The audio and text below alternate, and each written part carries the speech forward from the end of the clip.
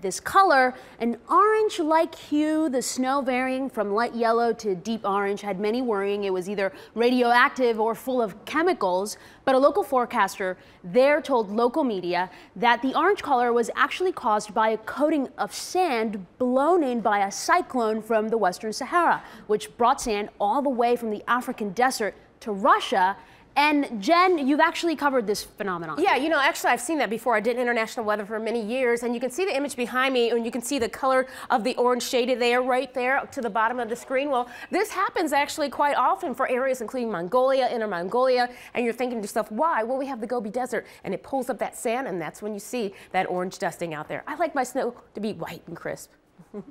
Yeah, no, don't right. we all? Yeah. Uh, you know, you know what's interesting though? If you think about what happens in the summertime, all right, you get the big Bermuda high that's set up, and that circulation comes over the Sahara and blows that dust off Africa. We've showed you tons of satellite pictures of this. If you live in the Caribbean and you're watching this this morning, you know exactly what I'm talking about. That dust accumulates on your vehicles, even in Florida. And yeah. Sam, you know this in Miami, it accumulates yeah. your vehicle. So now Let's take the winter version of that. Mm -hmm. It can happen in the other direction. Absolutely. So let's bring Niz into this discussion as well, because we also see it in volcanoes where that ash will get into the jet stream and we know it can travel thousands oh, yeah. of miles. Absolutely, and and you know, as Jen said, this is not all that uncommon in Russia because at this time of the year, Jim mentioned that that jet stream works its way further south. Now, this actually came out of remember Winter Storm Juno we talked about that yeah, came off the coast. Yeah, yeah. That system worked its way across the ocean. We've got a globe graphic to show Amazing. this here. And as it did, it actually caused a dip in the jet stream into Europe and across northern Africa. Now, what we're doing here is we're actually taking a trajectory of the air mass all the way back to Get where it began out of here. Yeah, back off the coast here